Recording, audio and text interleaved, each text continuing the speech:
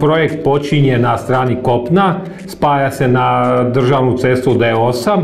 Nakon mosta Pelješac, znači imamo e, čvor Brijesta, dva tunela, tunel Kamenice i tunel e, Debeli Brijeg, dva mosta i nasip Doli. Završava sa e, čvorištem Zaradeže. Naravno da je to bio izazovan projekt, što po veličini, što po e, smještaju njegovom i po važnosti u, povezivanju Hrvatske.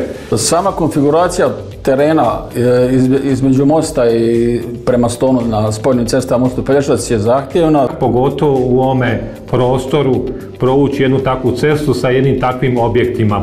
Projekt je prvotno bio ugovoren 33 mjeseca, na kraju, zahvaljujući i odluci izvođača, smanjen na, na 32 mjeseca. Rad u koroni je bio zahtjevan zbog toga što je bilo teško, teško doći do eks- eksploziva, to znam zbog izvođača. Imali smo i sposobnog izvođača koji je uspio te prepreke pre- pre- prebroditi. Iako je bila korona, radili smo cijelo vrijeme. Po dnevnicima 820 dana e, rada. Izuzetno sam zadovoljan s načinom kako je ovaj projekt realiziran i izuzetno sam zadovoljan i kvalitetom svih suradnika koji su bili na ovom projektu. To nije uspjeh pojedinca, nego cijelog jednog tima od izvođača e, do e, naručitelja naravno i do- e, svih sudionika u ovom projektu i od strane nadzora. Od invest inženjeringa do COGA koji su bili naši kvalitetni partneri do i ostalih naših podizvođača koji su sudjelovali na ovom projektu. Sa 60 godina takvu stvar napraviti, to se malo ono izazove, ali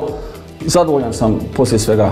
I, I svjedok sam onoga, recimo kad smo radili i kad smo uspjeli to završiti, to je jedna potpuno nova dimenzija. Sad je lijepo imati osjećaj kad se čovjek vozi Hrvatskom gore, dole, svagdje, da da je rezultat našeg eh, rada, vidi se, to mi svi govore, vidi se što smo radili u životu.